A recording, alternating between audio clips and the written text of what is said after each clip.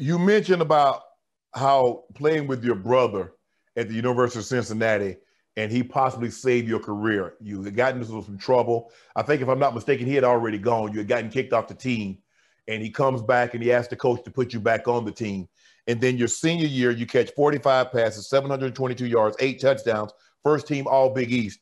But the previous two seasons, you had two touchdowns, 153 yards. Why were you able to take off your senior year? What what what clicked? What what what was different?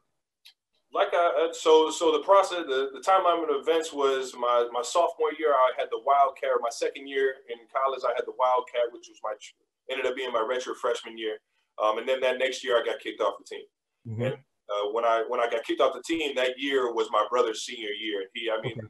the entire off season he was begging the coaches to give me another chance and um, set a, a, list of things that I had to accomplish to be able to um, reap the benefit of playing football again at the University of Cincinnati, uh, or appreciate the, the opportunity of playing football again at the University of Cincinnati. And um, I'm forever thankful for that conversation. I mean, it took a lot of a lot of guts for him to be able to go in there and put his name on the line uh, for myself, uh, knowing that you know I threw this scholarship away and down the drain like it didn't mean nothing to me. And um, and it was it was a very it was it was a moment where I had to grow up. I had to grow up and become uh, a man a, a man of, of my own mistakes. Uh, because up to that point, it was always, oh, yeah, I could get away with this, I could get away with that. Well, mm-hmm. like my father says, the bullshit always catches up. Excuse my language, but bullshit always going to catch up. If you're out here doing the wrong things, it's going to catch up to you just because right. that's just not how you live. And I, am all, like I said, I'm always here for the fun. So I, am a very passionate guy, and I want to do the right things. Fun just sometimes overrode that as, at a young age and uh, to have him put his his name on the line for me and and to give the coaches enough you know confidence that I was going to be able to be that guy for them. Uh, I, I, was able to you know step into a locker room, be a leader. Um, it still took you know a process and a group of men to help me and guide me in the right direction. I'm just thankful for everybody at University of Cincinnati that not not only gave me that chance but guided me in the right direction. And my brothers at the forefront. Man. It's funny because Andy Reid drafted your brother at Philly. Mm-hmm. He gets terminated. He goes to Kansas City. He turns and drafted and draft you. Now, there's a story. I don't know how true it is. You can confirm or deny this. That after Andy talked to you, he asked to speak to your brother and asked, "Is he gonna mess this up?" That's the truth, man. It's the God honest truth, man. I, when I tell you, I had never been more excited it was it was like a roller coaster of a call, and all and it all happened within like 15 seconds. I get the call; it's a Missouri number. I'm thinking I'm going to St. Louis. Shout out to Jeff Fisher and everybody over there, but I did not want to go to St. Louis at the time. Rams did not have the recipe for success, and uh, and and actually, what I didn't know is that the Chiefs didn't have that recipe for success either. They actually had a right. worship which was two and 14 the year before. So Andy Reid comes in, uh, drafts me with his second pick and uh, and I, I answer the phone thinking it's it's going to be St. Louis.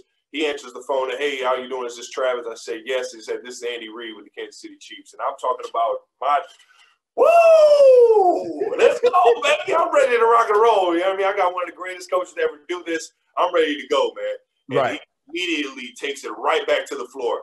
Listen, man, this is this is serious. This is no no goofing around. It was a, a, a whole lot of words that I would rather not repeat. basically said, "Do not screw this up. Right. This is a serious opportunity." And uh, he was asking me if I was going to mess it up, and they said, "All right, put your brother on the phone." And I was like, "How did he know my brother was right here? I didn't even minds. He already knows." So, and sure enough, you just see my brother get on the phone. I'm staring at my brother like, "What are you going to say?" You know what I mean? Like, oh, I hope he doesn't say anything bad. And he's just like, yeah, nope, nope, I got you, I got you. No, it was almost like he was asking my brother to make sure that that I knew what I was getting myself into, right. and it reiterated. And uh, at the at the end of the day, I think it was something he was he was just telling him like, I need you to make sure that this dude does not screw this up because I will kick both your ass.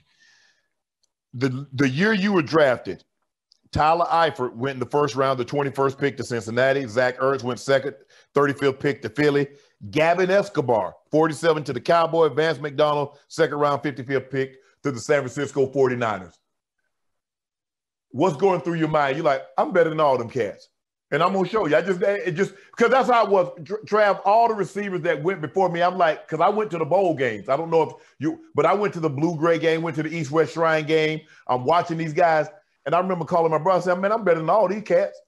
And I see them going off the board before me. I'm like, hold on, wait a minute, what did I miss? Man, I'll tell you what, it, you have to have that mentality. You have to have that confidence within yourself to know that you can go out there and have success no matter where you are, no matter who's in front of you, and uh, and and that's just that's just the the competitive mind state that I've that I've always had. Um, but what it really did was it made me dislike the guys that that that were taken in front of me. I mean, Zach, great guy, unbelievable guy. We've ended up becoming good friends over the years. Uh, Tyler Eifert, the exact same way. Uh, but it, what it, it, made me do was it made me, you know, gain this competitiveness to to every single day, uh, kind of, I don't know, mentally be crazy enough to to outperform somebody that you don't even know what they're doing.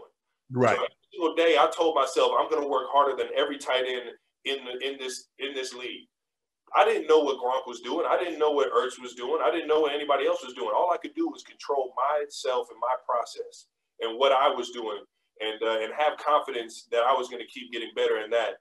And um, man, throughout the years, it's been awesome to know all those guys. Vance McDonald, another guy that I, I absolutely love and have a, a, tremendous respect for. Gavin Escobar ended up coming and playing for the Chiefs for a little bit. Um, I, I what it did for me was initially start the the competitive edge to be the greatest. At, at, at, at least try and be the greatest me and uh, and that's where it started, man. You know what to do. Hit the subscribe button to become an official member of Club Shay Shay, where we always do something for two something.